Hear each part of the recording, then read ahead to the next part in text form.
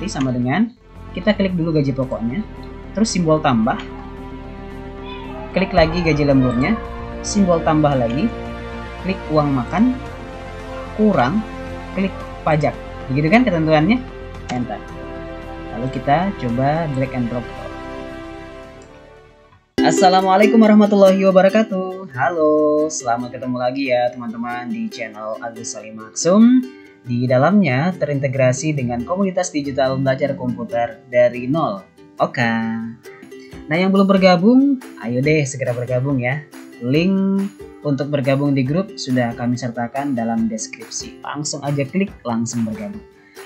Kita hari ini akan membahas kelanjutan dari pembahasan sebelumnya ya. Kita sudah membuat tabel seperti ini dan kita akan melakukan perhitungan. Bagaimana melakukan perhitungan di Excel?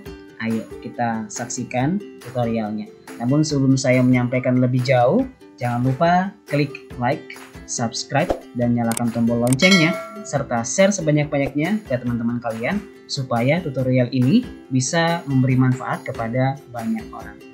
Untuk memulai perhitungan teman-teman, sebenarnya kita berpatokan pada petunjuk soal. Nah, di sini saya sudah ketikkan petunjuk soalnya. Baik, sebelum kita lanjut ke pengerjaan soal, terlebih dahulu saya mau perkenalkan beberapa simbol-simbol aritmatika yang tertera pada keyboard laptop. Mungkin masih banyak yang belum mengetahuinya. Saya coba bukakan Word-nya dulu ya. Nah, baik. Di dalam Excel itu ada simbol aritmatika namanya yang pertama ada yang disebut dengan penjumlahan ya. Jadi dia disimbolkan dengan plus. Ada juga simbol minus atau kurang. Jadi dia digunakan untuk melakukan pengurangan. Kemudian ada juga simbol perkalian. Dia bintang. Jadi kalian aktifkan dengan tombol shift lalu tekan angka 8. Kemudian ada lagi satu yaitu garis miring ya. Garis miring ini digunakan untuk ini adalah simbol-simbol yang akan terus kita gunakan dalam perhitungan aritmatika di Excel. Kalian bisa cocokkan sendiri pada laptop kalian masing-masing ya. Kemudian selain itu ada juga satu simbol lain yaitu sama dengan.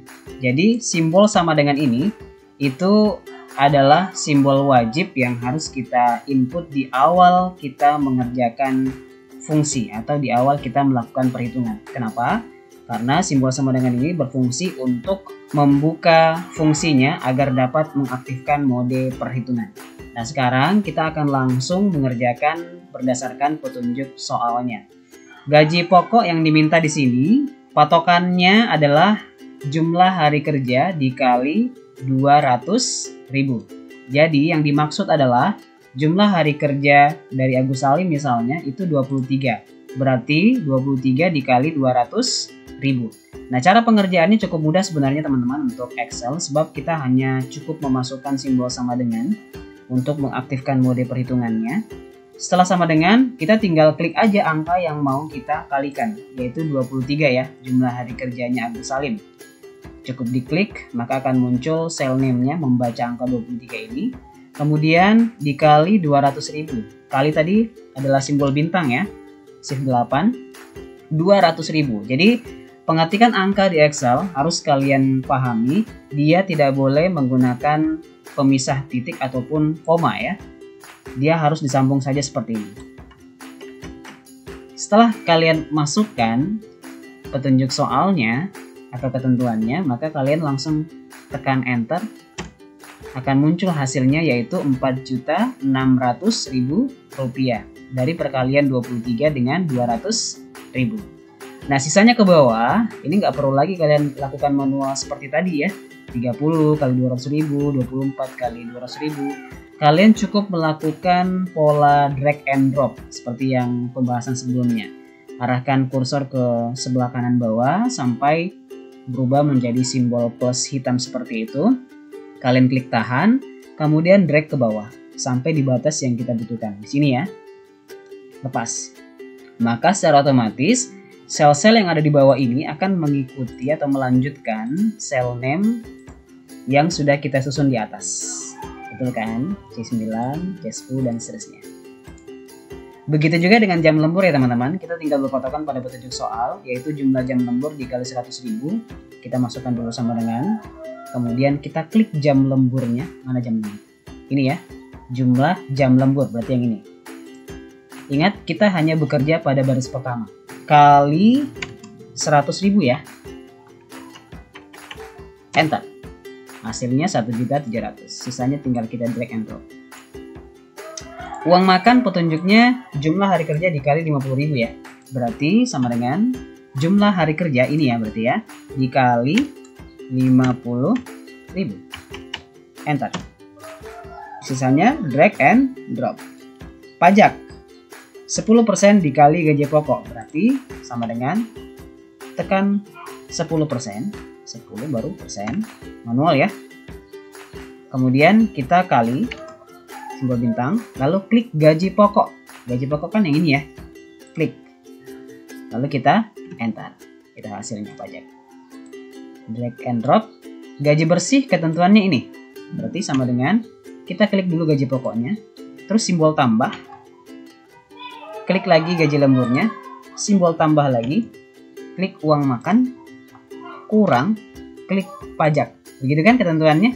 Jadi kita hanya mengikuti saja panduan yang sudah tertera pada petunjuk soal. Enter. Lalu kita coba drag and drop ke nah udah selesai.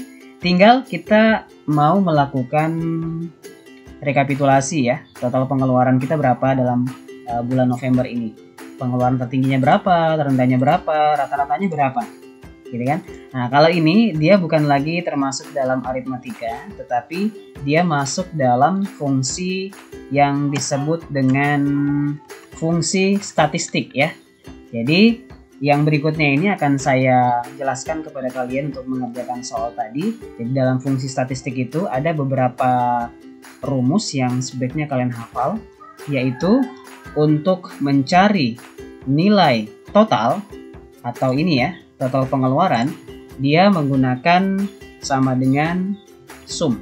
Kemudian untuk mencari pengeluaran tertinggi, dia menggunakan max. Nilai terendah adalah sama dengan min. Dan yang terakhir rata-rata dia menggunakan average. Ini ya teman-teman, fungsi statistik yang perlu kalian hafal formulanya. Nah, kita coba langsung aplikasikan ke soalnya.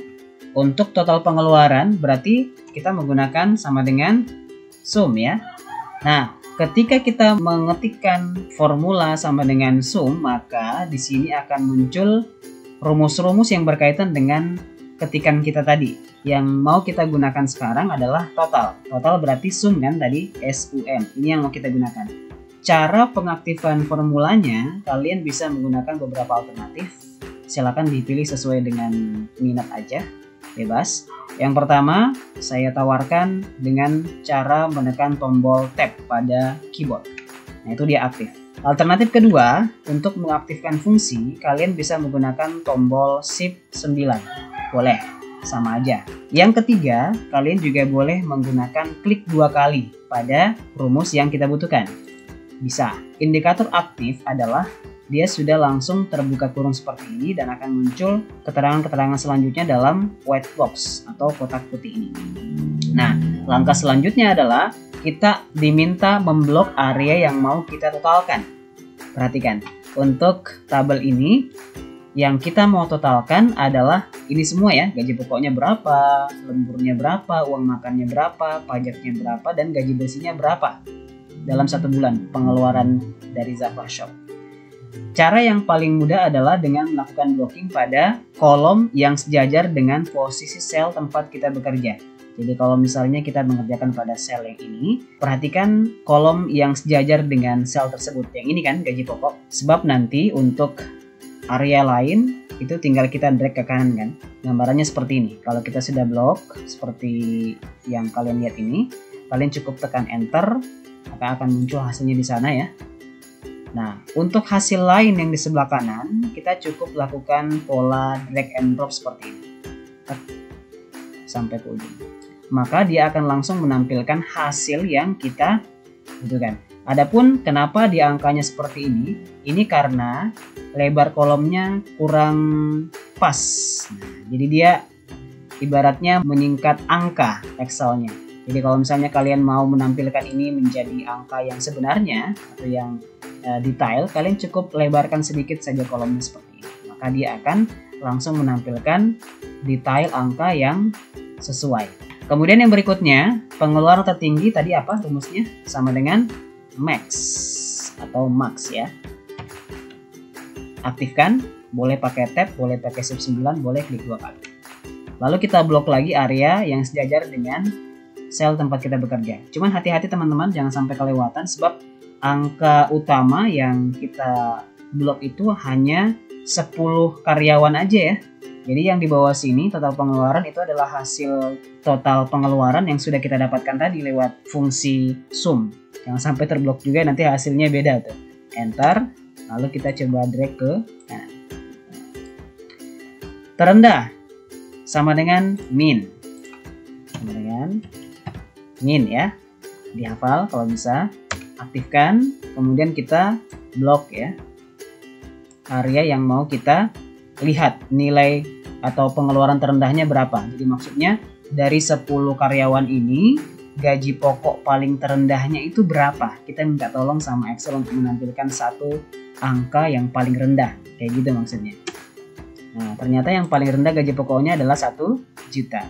Begitu pula dengan yang lain ya gaji lembur yang paling rendah 100.000 uang makan paling rendah 250.000 dalam sebulan gitu kan? Dan seterusnya rata-rata pengeluaran tadi rumusnya sama dengan average. Average. Tulisannya ya.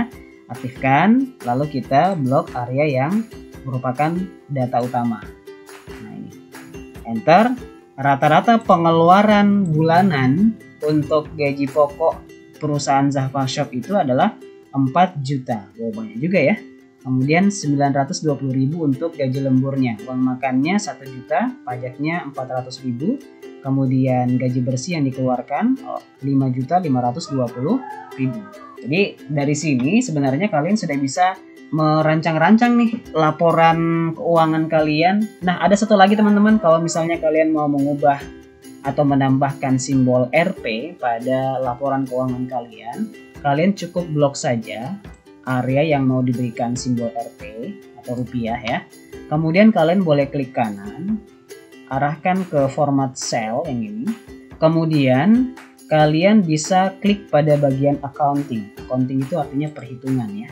Lalu di bagian simbol ini kalian bisa gulirkan agak ke bawah, cari simbol RP Indonesia. Nah, ini sudah jadi ya. Nah, terus di decimal place-nya kalian jadikan 0 supaya dia tidak ada dua digit angka 0 di belakang seperti ini ya.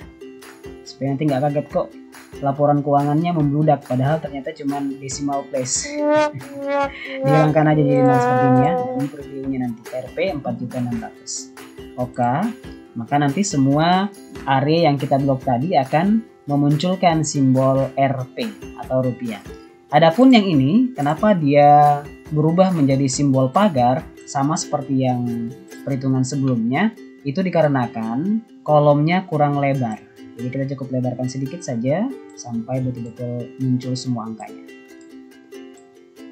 Nah, begitu juga dengan ini ya, kita lebarkan sesuai dengan kebutuhan saja maka angka-angka yang tadi tidak terlihat dengan jelas akan tampil utuh seperti ini. Nah, bagaimana sih kalau misalnya kita mau menambahkan kolom di dalam tabel yang sudah jadi seperti ini? Siapa tahu kita kekurangan kolom ya, kita mau tampilkan satu kolom lagi di sampingnya uang makan. Caranya cukup arahkan saja kursor ke salah satu kolom yang mau kita tambahkan areanya yang berdekatan dengan kolom tersebut sampai nanti kursornya berubah menjadi tanda panah hitam ke bawah seperti itu lalu kalian klik kanan, kemudian pilih insert. Maka akan muncul satu kolom tambahan yang bisa kalian gunakan untuk mengisi data berikutnya. Kalau kalian kekurangan baris misalnya, kalian mau bikin satu baris lagi di bawah sini, bagaimana sih caranya? Sama seperti kolom tadi, eh, kalian cukup arahkan ke area terdekat yang mau kalian berikan baris atau tambahkan baris, Kemudian tunggu sampai berubah menjadi tanda plus hitam seperti ini di angka 17 coba perhatikan. Nah, kemudian kalian klik kanan lalu pilih insert maka dia akan menambahkan satu baris lagi di dalam situ. Kalau mau dihapus, tinggal klik kanan lagi di baris tersebut, delete. Ini juga ya, kalau kolomnya kita mau hapus, klik kanan pada kolom yang mau di delete, lalu pilih delete. Nah, saya kira demikian ya teman-teman untuk tutorial kali ini. Mudah-mudahan bermanfaat.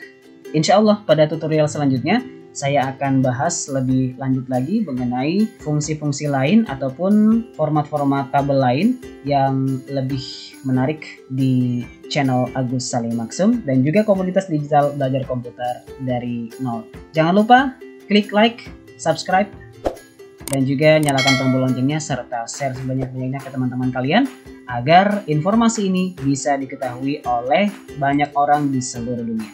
Wassalamualaikum warahmatullahi wabarakatuh. Sampai jumpa lagi.